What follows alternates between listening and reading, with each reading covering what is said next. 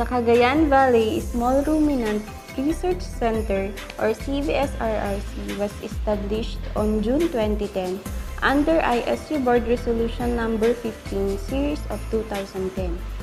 The center is mandated to take the lead in the development of small ruminant industry in Region 2 through application of technologies generated from the research and development.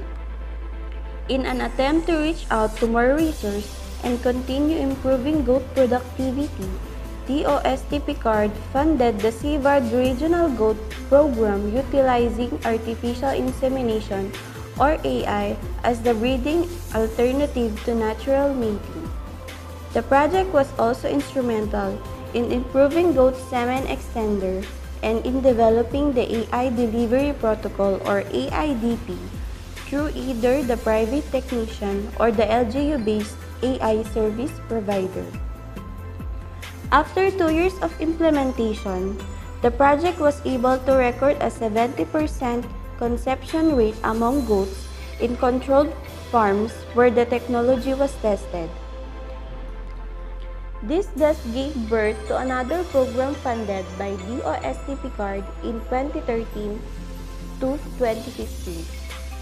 Specifically, the AIDP of the CVARD program was brought to other goat producing areas in regions 1, 3, 8, 10, and 12.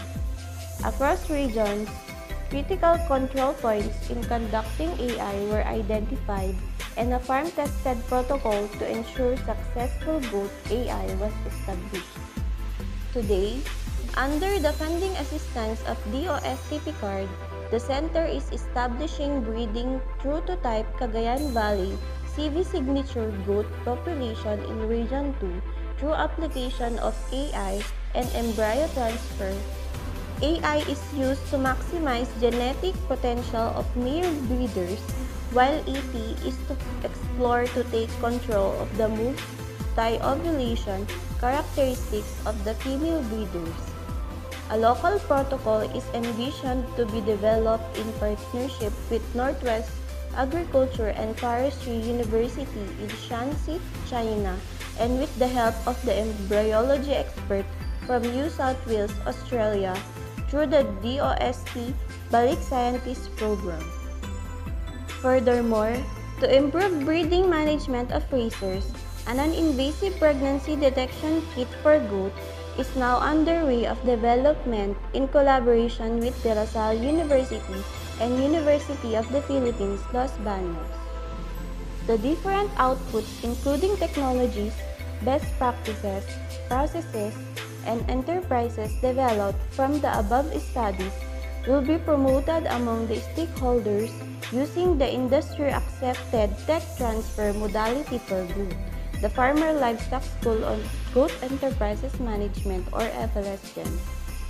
ISU through CVSRRC is now taking the lead to roll out these technologies in 10 regions across 36 provinces and 110 municipalities nationwide.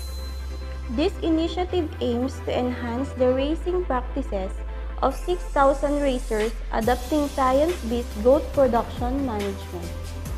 At present, the center has 20 intellectual property rights applied, and 16 of which are already approved.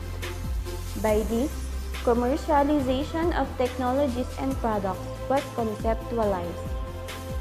The R&D facilities now serve as venue for technology business incubation under the National Agri-Aqua TBI program. ISU is the only incubator that offers a special course on product commercialization. This training is composed of lectures on product development, marketing, financial viability, and entrepreneurship.